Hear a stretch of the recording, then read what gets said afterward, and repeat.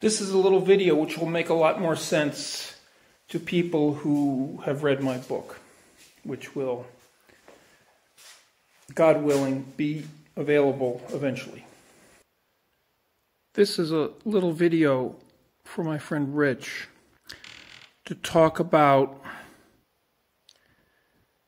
unities and space in painting. And this is um, a video at night, so it's just with the lighting I have here, so it's a, not a very good picture of my baptism painting. All right, so there's a, a unity of light, for instance, and the, the lightest thing is if you squint your eyes at this, there's a cross that emerges.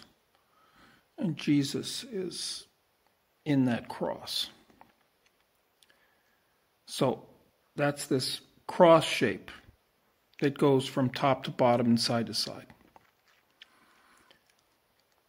That that's light. In the upper parts it's a cooler light and as it comes down into the water it's warmer.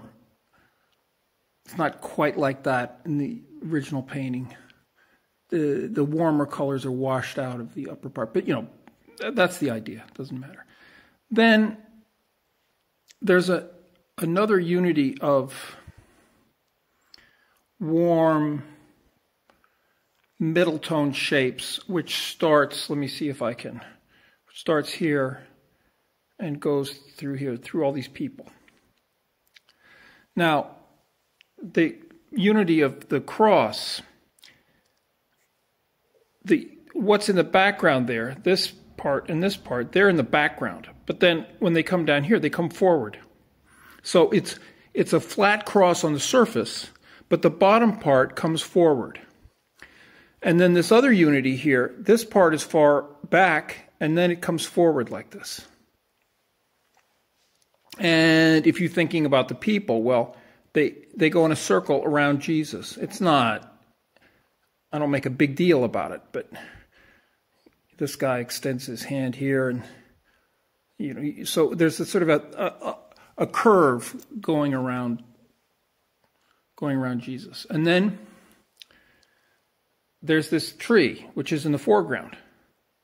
It's closer to us than Jesus, and so on. So this is this object in the foreground. So those are some of the elements. Then you could say that there's another unity with this tree the middle ground, it sort of lines up with this stuff. So there's this sort of motion here, and then there's this motion here.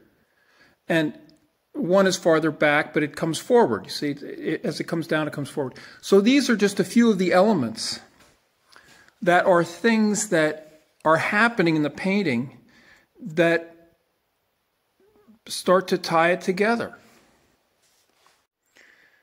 Now, in this painting, for instance, these figures form a kind of W. And the W, but it's it's made of elements that go in and, and behind each other and so on. So it, it, it's it's coming in and out. Shape that's coming in and out. And then there's the there's the big diagonal from this guy's foot. It goes right up here. Which kind of what that does is sort of ties those things together. And what's interesting about that is that some are near in space and some are far. That's all. It's no big deal. And then the top of this building coming down here. So uh, again, things are tied together, but they're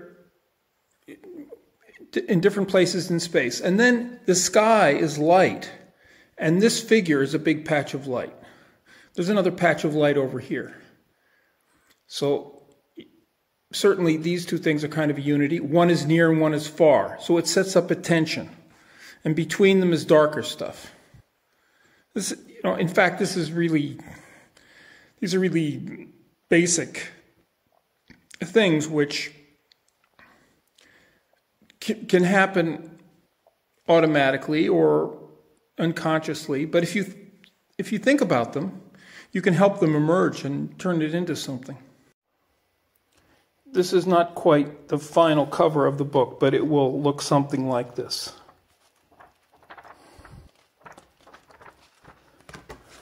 There's an index at the end of all the artists mentioned.